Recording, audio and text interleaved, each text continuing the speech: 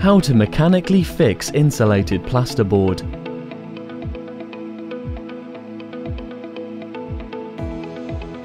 If insulating a construction other than timber frame, mechanically fix timber battens at the floor and ceiling around the room's perimeter.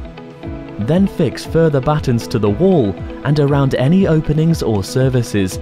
Fix each batten approximately 75mm from its end, at no more than 600mm horizontal centres.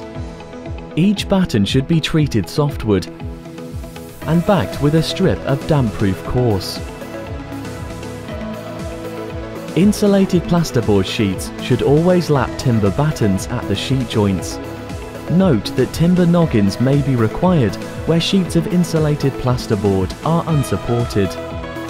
Ensure each sheet is lightly butted with fixings located no less than 10mm from the bound edges of the sheet.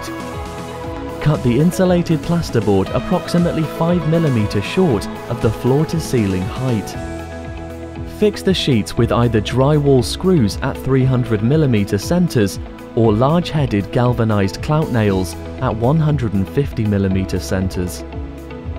Fixing should be long enough to allow a minimum penetration into the timber batten or frame. Drive all fixings straight with heads embedded just below the surface of the plasterboard. To finish, seal the perimeter of the insulated plasterboard with a flexible sealant or equivalent.